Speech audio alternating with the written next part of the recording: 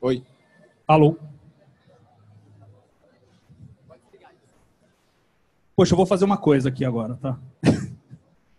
Boa noite, Campus Party! Pô, eu sempre... Sempre quis fazer isso, pô. Se eu faço isso no meu apartamento a essa hora, antes de eu chegar no campus, já toco o interfone lá. Não...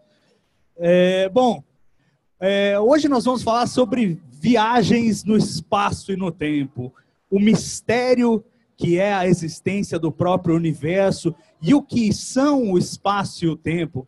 Uma coisa que o Newton tinha definido como algo universal e fixo e que mais tarde acabou sendo revelado como algo muito diferente disso, algo muito contraintuitivo, e é isso que nós vamos explorar é, nos próximos 45 minutos. Peço desculpas pela apresentação achatada, foi o melhor que a gente conseguiu exibir ali, mas acho que vai dar para ver tudo normalmente. É, meu nome é Salvador Nogueira, talvez alguns de vocês me conheçam. Eu sou jornalista de ciência, eu faço um, um blog na Folha de São Paulo chamado Mensageiro Sideral e também tem um canal no YouTube com o mesmo nome, Mensageiro Sideral. Agora, se vocês não me conhecerem, também não faz diferença nenhuma, porque não é de mim que nós vamos falar. Nós vamos falar basicamente desta figura aqui.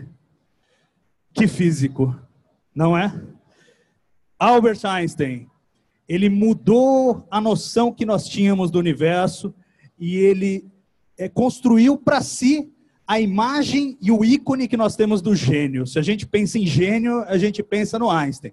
E muito dessa noção que nós temos vem das coisas que nós vamos discutir hoje. Ideias revolucionárias ideias contraintuitivas, ideias como essas, que o espaço e o tempo, na verdade, não são absolutos, mas são relativos, que a luz viaja na velocidade máxima permitida no universo, que a matéria e a energia são apenas faces da mesma moeda, e que a gravidade nada mais é do que uma distorção, uma curva no próprio espaço-tempo. Uau! A gente vê essas coisas e fala assim, poxa, como é que isso pode fazer algum sentido? Como pode ser verdade uma coisa dessas? E hoje a gente vai explorar um pouquinho como é que o Einstein chegou a essas ideias e vai ver que elas não são tão absurdas assim e elas passam a ser até naturais uma vez que você sabe de onde ele vem. A maior complicação de entender a relatividade é justamente porque a gente começa por isso. Começa pelas conclusões e fala, pô, isso aqui não faz o menor sentido. Se você começar pelas premissas, começar pelo começo, começar por onde Einstein começou, as coisas fazem sentido com muito mais facilidade. Eu vou fazer essa apresentação o mais rápido que eu puder, porque eu realmente quero que a gente chegue com tempo para perguntas. Mas se eu estiver falando rápido demais e vocês não estão entendendo, é só levantar a mão e falar: ah, para, ô! E aí vem o microfone, vocês fazem a pergunta e a gente tenta esclarecer.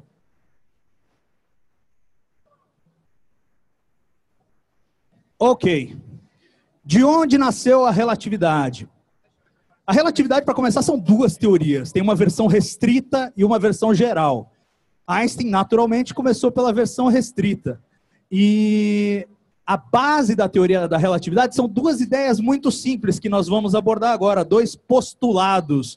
O que é um postulado? Postulado é uma coisa que o cientista fala, olha, acho que a natureza é desse jeito, mas eu não vou me preocupar em provar isso agora. Eu só vou presumir que isso seja verdade e dali extrair conclusões. E claro que, se ele extrai conclusões e aquelas conclusões são verdadeiras, isso reforça os postulados.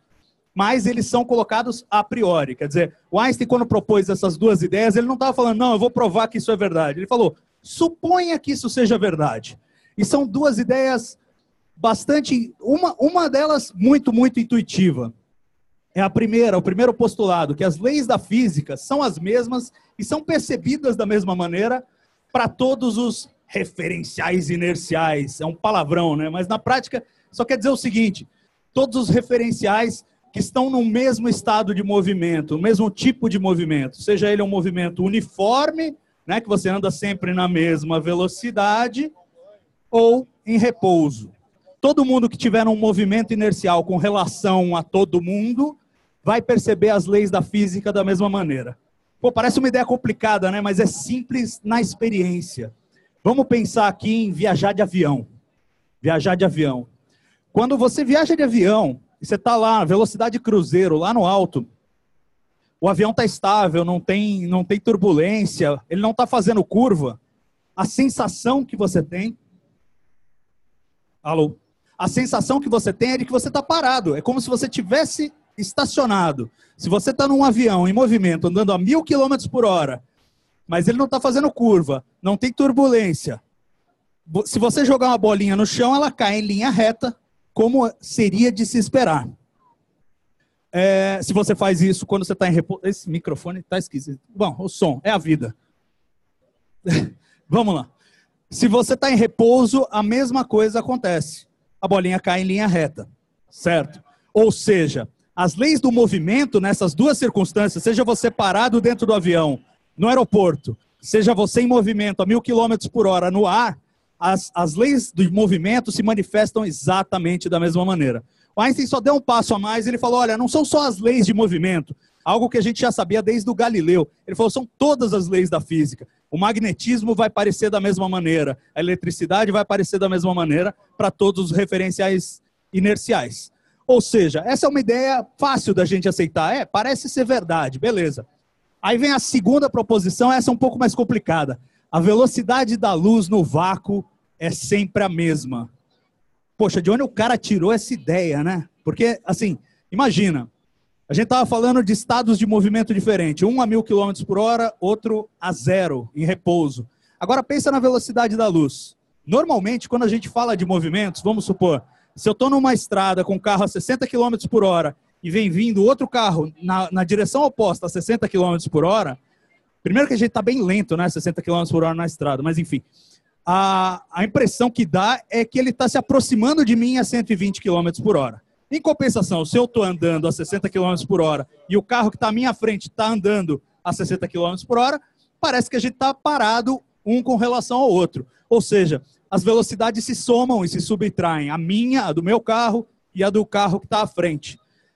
Einstein diz que com a luz isso não acontece. A velocidade da luz nunca se soma. Então, se você está aqui andando com o seu carro a 60 km por hora e você acende uma lanterna, a velocidade da luz avançando, saindo da lanterna, vai ser a mesma do que se o carro tivesse parado. As velocidades não se somam. Mas fala, ah, tá bom, eu posso aceitar isso, tá? A velocidade da luz é sempre a mesma. Só que as consequências de aceitar isso, aceitar que a velocidade da luz é sempre a mesma, e era algo que Einstein tinha motivos para desconfiar que era verdade, porque houve experimentos feitos no final do século XIX que indicavam isso, que não, não se conseguia medir diferença na velocidade da luz, não importando o movimento da Terra, o movimento dos planetas. Parecia que a luz sempre viajava à mesma velocidade. Ele tinha uma razão para acreditar nisso. E as consequências que se extraem disso são assustadoras. Vamos fazer um experimento mental. Então, vamos supor que a gente está dentro do nosso carro e tem uma, um feixe de luz no, no assoalho do carro. Ele vai disparar um raio de luz que vai bater no teto do carro, onde tem um espelho, e ele vai voltar. Legal. Se eu estou aqui andando a 60 km por hora e vocês estão aí do meu lado andando a 60 km por hora, o que, que vocês vão ver? A luz subir em linha reta, bater no espelho e descer. Mais ou menos o que a gente está representando ali naquele gráfico. Tudo bem. A luz percorreu aquele caminho e e ok, subiu e desceu em linha reta, maravilha. Agora imagina um experimento que o Einstein não podia ter imaginado na época dele, mas a gente hoje pode imaginar. Ei, caramba.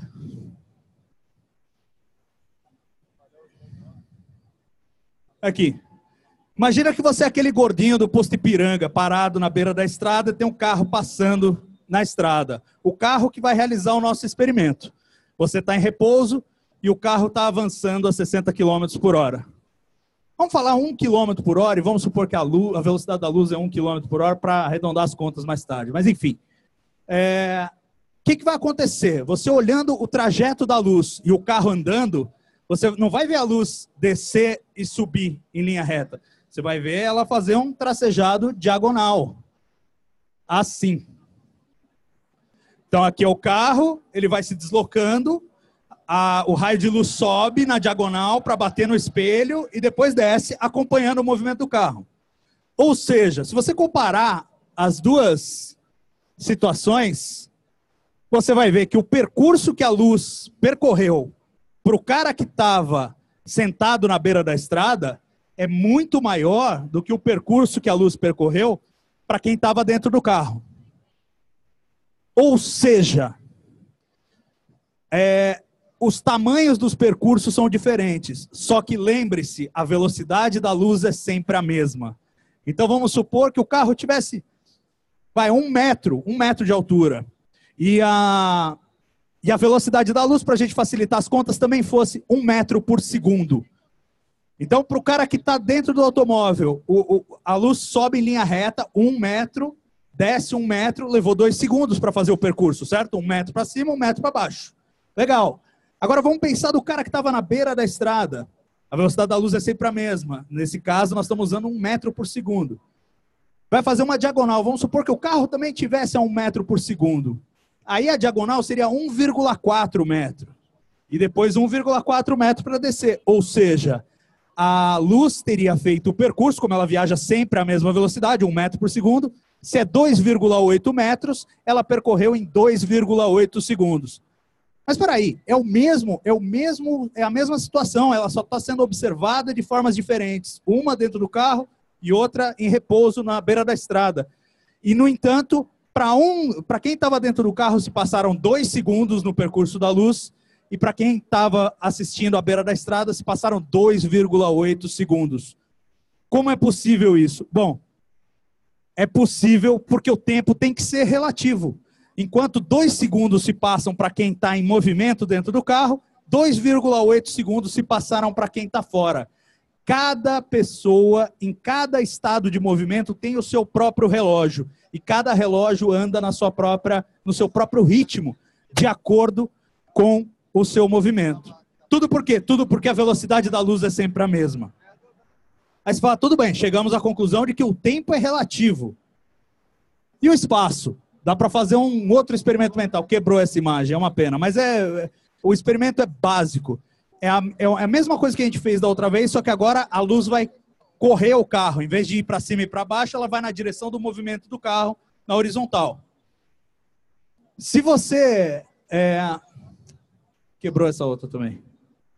O fato é, se você medir para quem está parado na beira da estrada o tempo que ela leva para ir e voltar, o tempo não, o espaço que ela percorreu para ir e voltar. E se você medir para quem está dentro do carro, você vai descobrir que a medida é a mesma. Nesse caso, a medida é a mesma. Na horizontal, a medida é a mesma.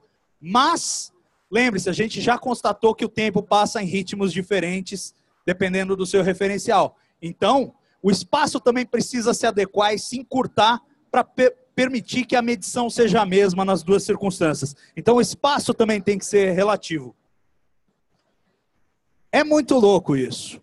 A, a relatividade restrita, que foi justamente a teoria que o Einstein desenvolveu, em que ele conclui isso, baseado naquelas duas premissas muito simples, ela tem uma série de ramificações. As, a primeira e a mais óbvia foi aquela que a gente acabou de comentar: o tempo e o espaço são relativos, então quem anda mais depressa vê o tempo passar mais devagar. Né? Então, se você andar a metade da velocidade da luz, o tempo vai passar muito mais devagar para você do que para quem está em repouso na Terra. E uma das conclusões que o Einstein conseguiu tirar da teoria, quando ele misturou isso com eletromagnetismo, com o estudo da, das ondas eletromagnéticas, foi essa equação, que é a equação mais famosa do mundo, né? E igual a mc quadrado. C é a velocidade da luz, m massa e E é energia. O que, que isso está dizendo, na verdade? Está dizendo que energia e matéria são faces da mesma moeda. Você pode trocar matéria por energia e energia por matéria. A taxa de câmbio não é muito simpática. Se você quer converter energia em matéria, você vê que um pouquinho de matéria vai ser muita energia, porque matéria vai multiplicar pelo quadrado da velocidade da luz, que calhou de ser um número realmente imenso. Né? são 300 mil quilômetros por segundo. Então você imagina o quadrado disso e aí multiplicando pela massa, você tem uma quantidade de energia enorme. Qual foi a grande demonstração, a grande e nefasta e terrível demonstração de que o Einstein estava certo com a relatividade e com essa equação em particular? Bom, a revista Time mostrou isso. Infelizmente eu não vou mostrar. A revista Time publicou uma capa é, em que mostrava o Einstein, a, o cogumelo da bomba atômica ao fundo e, as, e a equação é igual a mc quadrado. Porque a bomba atômica é justamente a manifestação física daquela equação. Ou seja, você pega ali átomos de urânio ou de plutônio, você quebra esses átomos, quando você quebra os átomos, uma parcela ínfima da matéria, ínfima, um pouquinho de matéria, assim, é, é, é menos de um grama, por exemplo, na bomba de Hiroshima, menos de um grama de matéria foi convertido em energia. Mas aí, quando menos de um grama de matéria se multiplica pelo quadrado da velocidade da luz, dá aquela puta energia, e aí você tem uma explosão colossal. Foi uma demonstração eloquente de que a relatividade restrita estava certa. Mas a relatividade restrita ainda tinha alguns problemas. Ah, minha equação favorita também não vai aparecer. O bacana da relatividade restrita, e eu vou falar isso, vai ser, vai ser ruim para vocês é, não conseguirem visualizar, mas o bacana é que existe uma, uma fórmula que permite que a gente calcule exatamente como que o tempo passa para cada um de acordo com a velocidade. Então você pode, sabendo o tempo que passou, digamos, vamos supor que você lançou uma espaçonave a 90% da velocidade da luz na direção do sistema estelar mais próximo, Alpha Centauri. É, se você souber, bom, você sabe o tempo que vai levar para chegar lá, 90% da velocidade da luz, são 4 anos-luz, você pode pôr aí um pouquinho menos de 5 anos. Você sabe o tempo que vai chegar lá contado da Terra. Com essa equação, você pode calcular o tempo que passa para os astronautas, que é diferente, porque eles estão se movendo mais depressa, como a gente é, já concluiu pelos nossos experimentos no carro. Então, a equação eu vou falar, porque ela não apareceu, é uma pena vocês não poderem visualizar, mas é T' é igual a T vezes a raiz quadrada de 1 menos V ao quadrado, que é a velocidade da nave, dividido pelo quadrado da velocidade da luz. Não dá para fazer camiseta, né? Não é tão legal. Mas, mas é muito legal porque dá para você fazer umas contas muito loucas e calcular como que o tempo passaria se você viajasse próximo da velocidade da luz. E isso, na prática, equivale a viajar no tempo para o futuro. Quer dizer, se você viajar muito perto da velocidade da luz, você pode, por exemplo, passar duas semanas na sua espaçonave e terem passado mil anos na Terra. Se você chegar o suficiente perto da velocidade da luz, você pode é, conseguir isso. Um dos problemas, é claro, é que quanto mais rápido você avança, mais energia você precisa para continuar acelerando. É justamente por isso que a relatividade restrita também determina que você não pode ultrapassar a velocidade da luz. Quando você atinge a velocidade da luz, você precisa de energia infinita para continuar acelerando. Como você não vai ter energia infinita para acelerar, você não vai cruzar esse limite. E é justamente o limite em que o tempo para. Então, se você está andando, está acelerando, está indo na direção da velocidade da luz, Aí você vai, o tempo vai passando cada vez mais devagar para você, devagar, devagar. Se você por um acaso atingir a velocidade da luz, o tempo para para você. Então, para a própria luz, e pensa nisso, que é uma coisa muito louca, tem uma partícula de luz que saiu lá do outro lado do Big Bang 13 bilhões de anos atrás. Ela chegou agora aqui, a gente detectou como radiação cósmica de fundo. Para ela, do ponto de vista dela, a viagem foi instantânea, porque a velocidade da luz o tempo não passa. Claro, a gente não é luz, então para nós não é muita vantagem. Mas mesmo assim é muito louco você pensar que o tempo pode parar em determinadas circunstâncias. E uma das coisas mais malucas que, porra, quebraram todas as imagens, velho. Uma das coisas mais malucas é, que a relatividade restrita traz é o famoso paradoxo dos gêmeos.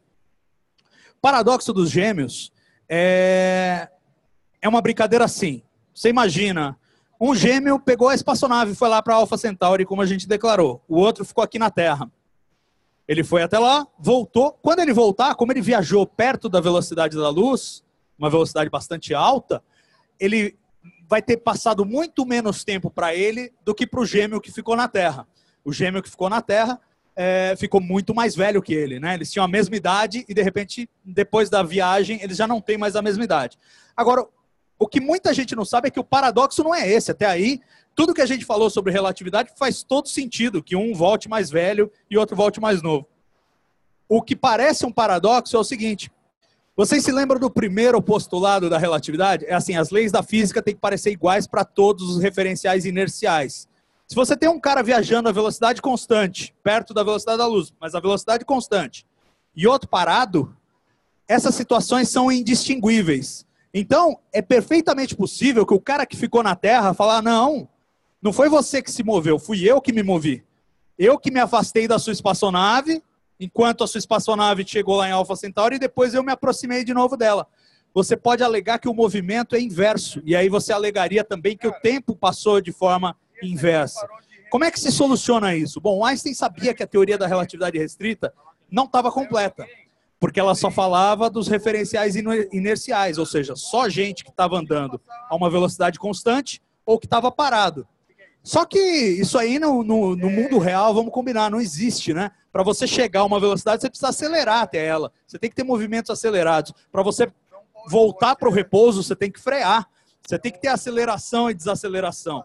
Então a teoria estava incompleta, ela não falava desses movimentos. E a chave para resolver o paradoxo dos gêmeos está justamente nesses nessa questão da aceleração. E aí o Einstein teve, ele passou 10 anos para desenvolver a teoria geral da relatividade, essa que vai abarcar todos os movimentos, não só os movimentos uniformes, ou seja, velocidade constante ou repouso, mas também as acelerações e desacelerações. E para resolver isso, ele teve aquele que ele chamou o pensamento mais feliz da vida dele, que é o princípio da equivalência. Ele fez outro experimento mental. A figura quebrou, mas a gente fala dele. Imagine um elevador. Você está no elevador e aí arrebenta o cabo do elevador. O elevador vai cair. No que o elevador cair, nos poucos segundos antes da sua terrível morte, você vai experimentar uma coisa muito curiosa. Você vai parecer estar flutuando dentro do elevador. Porque o elevador está caindo, você está caindo também. Então, você e o elevador, o movimento relativo entre vocês é nulo. É como se vocês estivessem flutuando. Que é exatamente a mesma coisa que você experimentaria se o teu elevador não estivesse caindo, mas estivesse no espaço profundo, longe de qualquer campo gravitacional. Sem gravidade, você também flutuaria lá, exatamente como na queda livre. O Einstein falou: Poxa, essas duas coisas são equivalentes. E aí ele fez outro exercício que é o exercício inverso, que provavelmente vai estar quebrada a imagem também.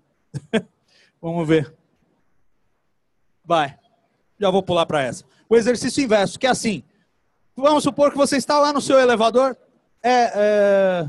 Pois é. Agora, agora, Entrou a imagem agora. Só pedir que eu passe pro senhor. oh, boy. Porra, quer que comece de novo? não, não vai dar, gente. Eu já tô correndo pra caramba aqui, mas tudo bem, vamos lá. Deixa eu ver aqui. Então você vai passar para mim, é isso? Eu não aperto mais botão aqui? Oh boy. Enfim, tá lá o nosso coitado do Einstein. Velho, tá acontecendo muita coisa aqui, cara. Eu não tô apertando nada. Show, Satanás. Larguei aqui. Ah, tá super legal assim, porque já é um tema fácil. E aí a gente põe tudo fora de ordem e fica mais fácil de entender. Legal, né? Enfim, é para eu passar?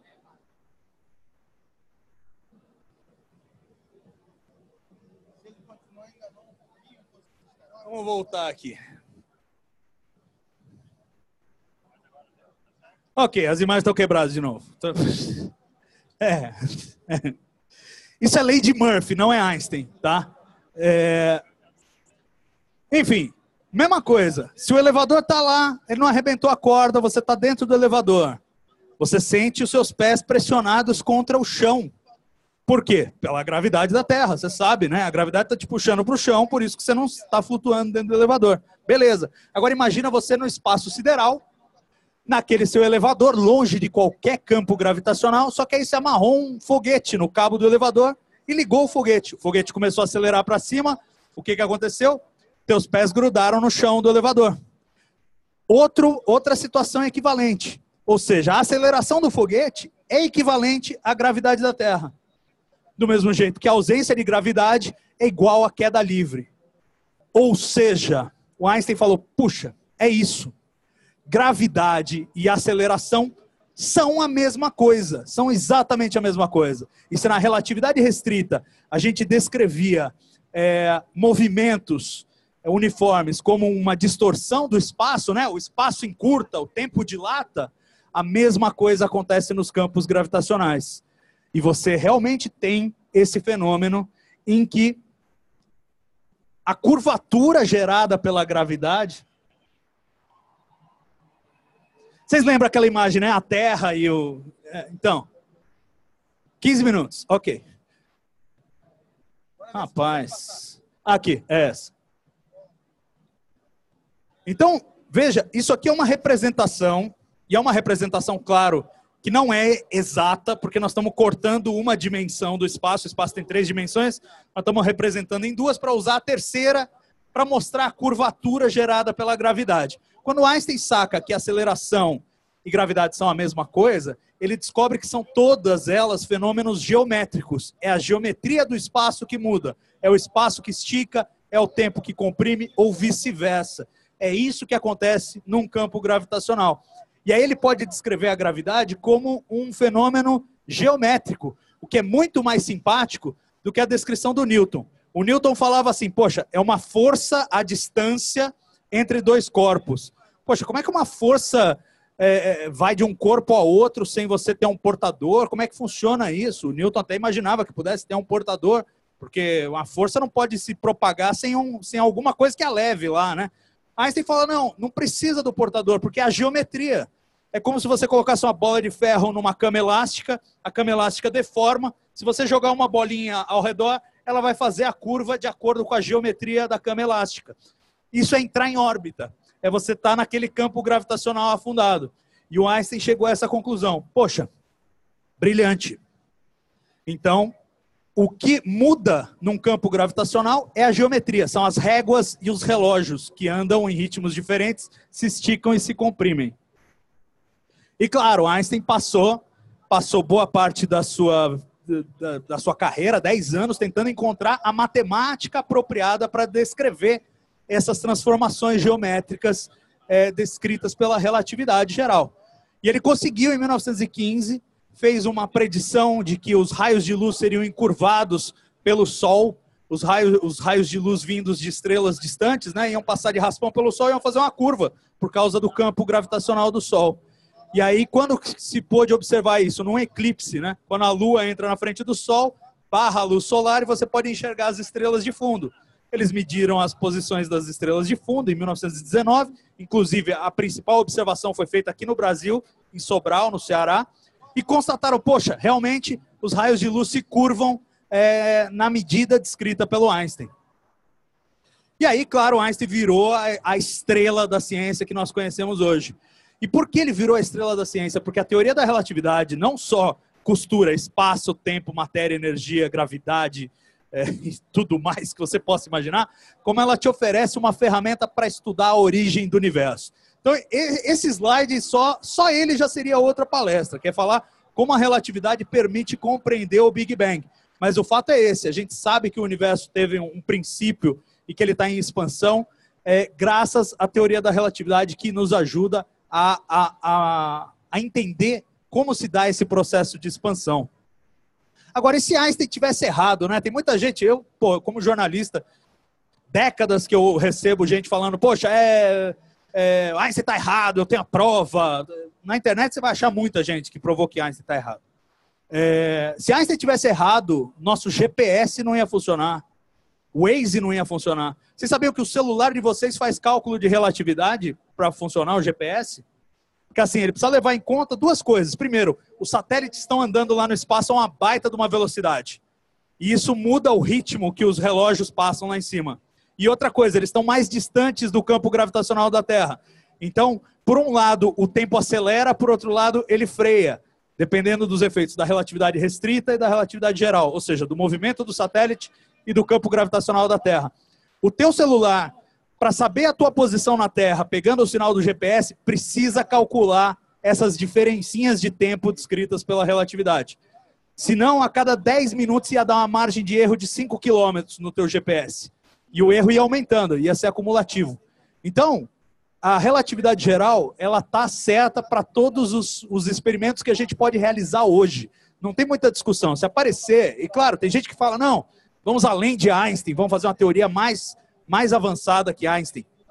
É, é possível que se faça, mas ela vai ter que englobar essas consequências da relatividade. Não é que a gente vai jogar fora tudo isso. Como ninguém jogou fora o Newton, como ninguém jogou fora o Kepler. Foram só evoluções da teoria.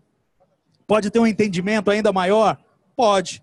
Mas ele vai ter que responder por tudo isso. Não é que a gente vai esquecer do limite da velocidade da luz, do, do espaço que se comprime, do tempo que se dilata. Tudo isso vai permanecer no lugar.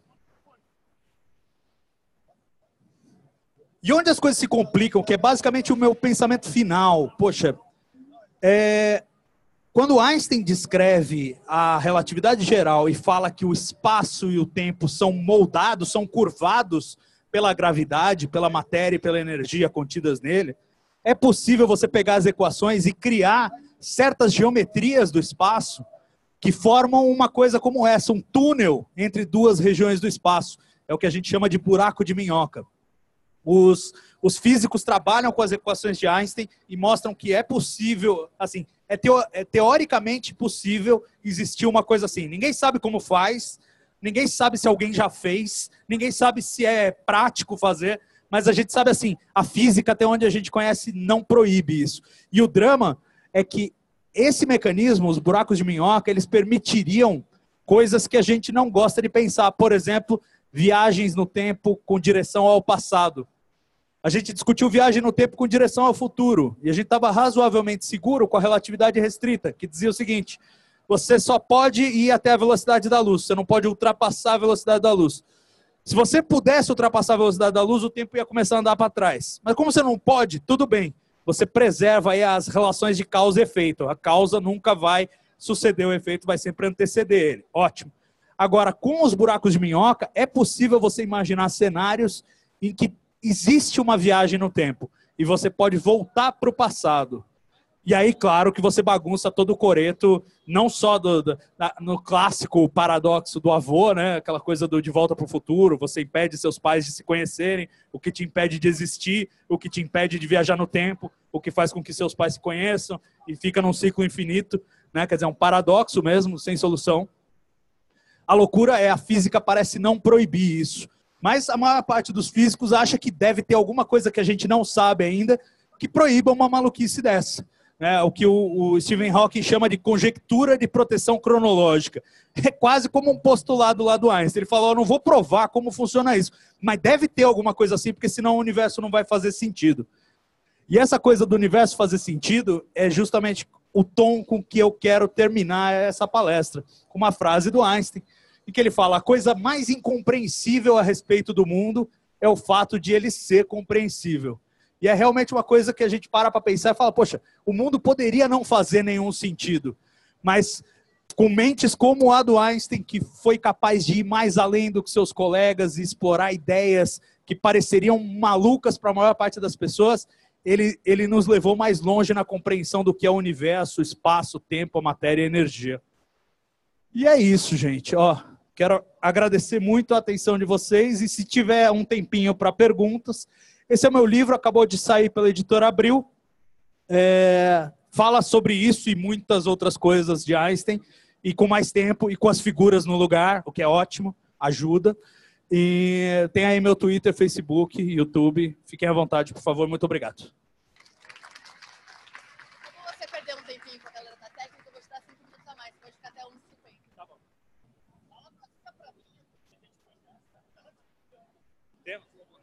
Tem uma pergunta.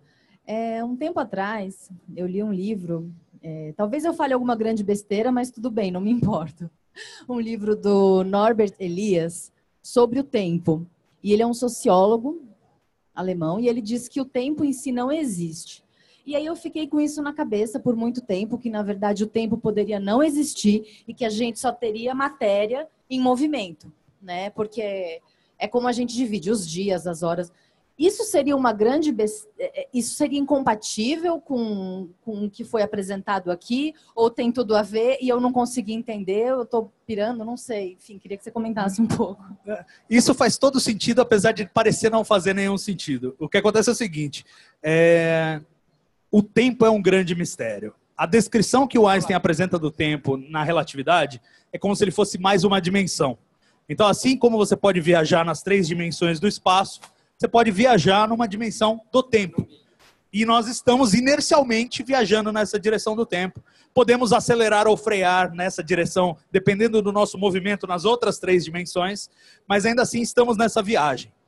E existe uma coisa chamada a seta do tempo, que é o, o que os físicos é, descrevem como justamente uma direção preferencial dos fenômenos. Então, por exemplo, você pega um copo de vidro e você deixa ele cair no chão, ele quebra em mil pedaços. Esse é um fenômeno que não é reversível. Ele só acontece nessa direção. Você nunca vai ver mil pedaços subindo e se transformando num copo inteiro. Ele só acontece num sentido. O que dá a entender que existe uma seta do tempo. O tempo tem uma direção preferencial. Agora, o que você está dizendo da não existência do tempo tem muito mais a ver com a física quântica, que foi algo que a gente não abordou aqui e que é absolutamente assustador. Alguns experimentos mostram que partículas podem ter efeitos umas sobre as outras instantaneamente, não importando a distância. Então, enquanto Einstein dizia, não, o limite de velocidade máxima do universo é a velocidade da luz, essas partículas parecem teimar em se comunicar de alguma maneira mais rápido que a luz. Para elas, nesse contexto, o tempo parece não existir. E o espaço também não, porque tanto faz a distância, que elas estão separadas, elas sempre se comunicam instantaneamente. Esse fenômeno é chamado de emaranhamento. Eu falo dele no livro também, e é realmente é de perder o sono. Eu, eu perdi o sono, porque você começa a questionar a própria natureza da realidade. Tipo, a realidade é esse espaço e esse tempo que a gente vive, ou é alguma outra coisa que só as partículas conseguem entender e para nós não faz sentido por alguma razão. Mas enfim, a tua pergunta é pertinente, só que isso aí é um assunto enorme. Se abrir uma caixa de vermes assim terrível, tem muita coisa para se falar, mas é um assunto muito interessante. Oi, é, microfone, cara, depois você. Seguinte, é, antes de fazer minha pergunta, eu só queria fazer uma observação. É, eu nunca ouvi falar de você, nunca vi o seu trabalho, e só que quando você entrou no palco, eu olhei assim, cara, eu queria acabar um tiozinho assim. Tipo, parabéns. Oh, eu adorei a parte do tiozinho. É, é Achei é, que. É, porra, você é um tiozinho, obrigado. mas com todo respeito. Eu gosto do meu tio, ele é um tiozão. Ah, tranquilo. Mas, enfim, a, a, minha pergunta é, aproveitando que você é um jornalista, eu queria saber como é que tá o colisor de partículas que a gente tem aqui no Brasil. Tipo, eu nunca mais ouvi falar dele, sinceramente. Então, o, eles estão construindo, eles têm o síncrotron lá que está funcionando e eles estão construindo um maior, o Sirius, em Campinas. Está em obras. Está em obras, não, não, não tem previsão de inauguração. Eles estão terminando a parte de infraestrutura, depois tem que montar toda a tecnologia. Que eu posso dizer para você é o seguinte: o projeto é excelente, colocaria para essa classe de aceleradores, colocaria o Brasil assim numa escala de top mundial para esse tipo de acelerador, que é acelerador de elétrons, né, para gerar fontes de luz. E aí eles usam a luz para investigar é, uma série de, de, de pesquisas diferentes, mas ainda não tem previsão de construção. A gente espera que haja continuidade. Existe a preocupação com os cortes aí do, do Ministério da Ciência e Tecnologia, é, é, é, um risco que se corre, mas, mas eu acho que a obra, por enquanto, não parou. Essa é a boa notícia. Está andando. Não tem previsão de entrega, mas está andando. E o Brasil também tem, só para complementar, o Brasil tem, pelo menos tinha, a ambição de fazer parte como um membro júnior do CERN, que tem o LHC, o maior acelerador de partículas do mundo. O Brasil tinha feito todas as tratativas para ser membro júnior, agora, de novo, os cortes ameaçam essa nossa participação. Mas a gente teve um gostinho, tem vários grupos de pesquisa, físicos brasileiros, que trabalham lá no CERN, na, na, na, divisa ali da França com a Suíça, com a LHC. Então, assim, tem, tem bastante coisa legal de física de partículas no Brasil. É, bom, eu gostei muito da apresentação, primeiramente, né? E a questão é que eu não sei, eu li, isso aí é coisa que a gente vê por aí na internet, então não dá para saber se é verdade ou não, e como não encontrei mais fontes, fiquei dúbio quanto a isso. É, eu vi que numa teoria que pode se criar o buraco de minhoca a partir para manter-se um buraco de minhoca ativo seria necessário quebrar parte da, do limite da velocidade da luz e portanto teria que ter uma força de atração uma força maior que a da luz teoricamente um buraco negro seria a única coisa capaz de gerar um buraco de minhoca pelo que dá a se entender, porque o buraco negro é a única coisa que consegue ainda atrair a luz e não deixa ela escapar. Isso realmente é cogitado ou não? Ficou como uma baboseira de internet mesmo, sem fundamento? Não, cara, o negócio dos buracos de minhoca é bem complicado, porque assim, é, é, parece que assim, essa fonte que você leu, ouviu o galo cantar, não sabe bem onde. Então tem alguma coisa que faz algum sentido, muito que não faz sentido nenhum. Mas o negócio é o seguinte, um buraco de minhoca, em tese, ele teria uma geometria parecida com a do buraco negro. O que é o buraco negro? Se a gente viu aquela imagem ali da Terra distorcendo o espaço-tempo, um buraco negro, a distorção seria tão grande que seria um furo no tecido do espaço, na geometria do espaço, você teria um furo. Se esse furo chegasse a algum outro lugar, alguma outra região do espaço, aí você teria um buraco de minhoca. Os físicos fazem contas de como eles poderiam manter um buraco de minhoca aberto e atravessável. É, primeiro você tem que criar essa distorção, então talvez o colapso de algum objeto, como é, o que, um que gera o buraco negro, mas de uma forma especial que ele gere um buraco de minhoca no lugar. E você precisa de uma outra coisa essa mais complicada, que eles chamam matéria com densidade de energia negativa. Tem energia positiva. A gente sabe que é possível ter pequenas quantidades de energia negativa por causa de flutuações no vácuo, enfim. De novo, a mecânica quântica entra para perturbar o, o coreto. É, é, é, um tema complicado. Mas assim, a gente não sabe se é possível você ter quantidades arbitrariamente altas de matéria exótica, ou seja, de energia é, negativa, um buraco de minhoca aberto. Talvez aí esteja a resposta é, para o princípio de, de proteção cronológica, né? A conjectura de proteção cronológica. De alguma maneira, de matéria com densidade de energia negativa suficiente para manter o buraco aberto, permitir que informação circule entre épocas diferentes. Agora, é exatamente aquilo. É isso. Acabou, gente. Ó, tem mais? Ah, não, acho que não tem mais. Não há tempo para mais nada. Temos? Não temos. Cadê o microfone? Eles falaram lá. Olha lá. Não há tempo para mais nada. Muito obrigado.